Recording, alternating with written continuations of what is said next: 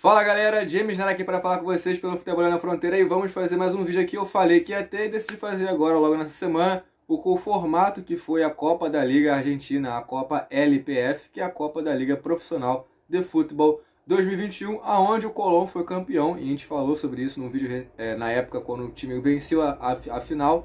Tem um vídeo deve estar aqui no iCard ou então para você assistir, mas se não tiver você pode ir lá no nosso, no nosso canal, vai lá nos vídeos você vai achar o, o vídeo onde o Colón, é, a gente fala sobre o Colón, que foi campeão na época, em cima do Racing por 3 a 0 Então eu vou explicar como é que funciona o formato dessa, desse campeonato, que aconteceu, já, já aconteceu, mas antes de mais nada também pedir para você, pedir você curtir, comentar, compartilhar o canal, muito importante, ajudar a gente nesse processo de engajamento para aumentar o, a qualidade do vídeo, do áudio, tudo isso, em propor, tudo isso para proporcionar uma qualidade, de modo geral, um, um entretenimento para você que gosta de conteúdos assim, de conhecimento sobre o futebol, e nesse, nesse caso, futebol ali, que pode se dizer até alternativo, né? Futebol do, da Argentina, do Paraguai, do México e dos Estados Unidos, certo? Bom, então vamos começar agora aqui. Quero falar com você que o torneio ele começou em fevereiro e terminou em junho, começou aproximadamente no dia 12 de fevereiro e terminou no dia 4 de junho, tá? E aí o Colón como campeão dessa Copa da Liga Profissional de Futebol 2021, que o Colón foi o primeiro classificado, tá? Para isso, para Libertadores 2022, onde teve, quando conseguiu a vaga vencendo esse torneio. Bom, como funcionou o torneio? Que, vamos, vamos ao que importa. Como funcionou? Era a primeira fase, quartas de finais, semifinais e final. Aí na primeira fase era o seguinte, eu tenho aqui anotado porque eu fiz, geralmente eu faço as anotações e coloco aqui, e aí para seguir um esquema. E aí na primeira fase foram 26 equipes. Como foram os classificados para a primeira fase? Foram basicamente foi assim, todos os joga, todos os times da liga do torneio, que é hoje, por exemplo, o torneio sócios, foram classificados para essa competição. Então não teve times da segunda divisão, foram só da primeira divisão os classificados aí, 26 ao todo classificados para a primeira fase. E aí foram divididos em dois grupos, o A e B, e desse grupo eram todos os jogos entre, entre o grupo, entre o, o próprio grupo, eram 13 rodadas no total, aonde todos enfrentavam todos em um turno apenas. Não teria jogo de volta, não tem, não tem segundo turno. Era apenas um turno, ali dando um total de 13 rodadas por grupo. Aí os, os quatro melhores colocados de cada grupo iriam para as quartas de finais, então ali 4 contra 4, 4 contra 4 e já nessa parte de mata-mata, aí teria da maneira a ser seguir da seria, era da seguinte maneira: eles se enfrentavam. O critério de desempate, caso houvesse indecisão no tempo normal de 90 minutos, seria direto para as penalidades. Não teria prorrogação, na verdade não teve prorrogação, porque esse jogo já passou, a gente não está tá supondo, é uma coisa que já aconteceu. Então, é, nesse caso, não, tem, não teve prorrogação, era só penalidade. E o jogo era a, o, o, o confronto era o seguinte: o primeiro colocado do grupo A se enfrentava o quarto colocado do grupo B, o primeiro colocado do grupo B enfrentava o quarto colocado do grupo A, o segundo colocado do grupo A enfrentava o terceiro colocado do grupo B, o segundo colocado do grupo B enfrentava o terceiro colocado do grupo A. Era assim que, era assim que funcionou, foi assim que funcionou o, a Copa da Liga 2021 e aí os classificados das quartas avançavam para as semi e aí funcionava da seguinte maneira. Ah, lembrando, bom, é bom, é bom, importante isso, tá? Que nas quartas de finais tinha esse critério de desempate, que era se não tivesse tempo, se não resolvesse no tempo normal, ia direto para as penalidades.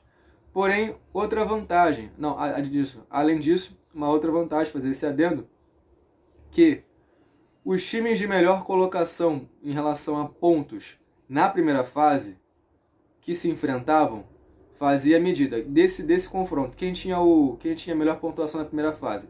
O que tinha melhor pontuação tinha a vantagem de sediar o jogo. Então o jogo seria no, no seu próprio estádio ou no estádio de sua escolha mais próximo da sua região. Tem, tinha essa vantagem na época. Aí quando eles avançavam para a semifinal, era os melhores colocados, então aí, aí obviamente seria também o confronto entre o vencedor da primeira partida contra o vencedor da terceira partida e o, e o vencedor da segunda partida contra o vencedor da quarta partida, partida então fazia ali um cruzamento de um modo geral entre os confrontos.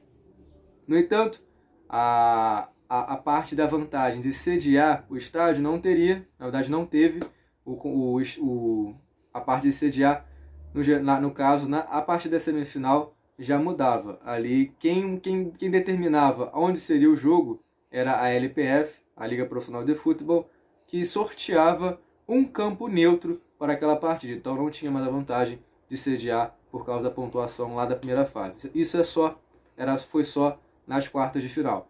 Mas em relação a, por exemplo, você caso houvesse indecisão numa partida, continuaria o critério de ir direto para a penalidade. Não teve prorrogação na, na semifinal também. Avançando os, os finalistas para a final, aí sim tem um critério de caso não fosse decidido no, no, tempo normal, iria para prorrogação, foi para poderia ir, porque não foi, poderia ir para a prorrogação de 30 minutos, normal, aquele padrão, e aí, havendo ainda, havendo ainda a decisão, teria a possibilidade de resolver na penalidade. Mas como não foi necessário, o Colombo venceu por 3 a 0 aquela partida contra o Racing, foi assim mesmo no tempo normal, mas teria essa possibilidade de prorrogação e penalidade.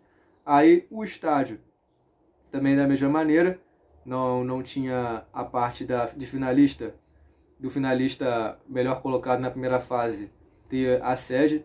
Foi essa vantagem só aconteceu nas quartas de finais, para resumir de uma maneira geral, certo? Então foi assim que funcionou.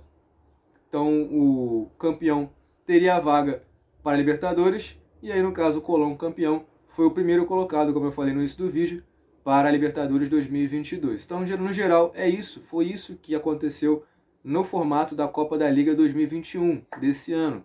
Primeira fase, 26 colocados, grupo A e B, ali 13 rodadas, apenas um turno. Os quatro melhores de cada grupo passam, passa, passaram para, para as quartas de finais. Aí se enfrentariam ali, no geral, o primeiro colocado do A com o quarto do B, e assim por diante. Teria essa, essa, esse formato.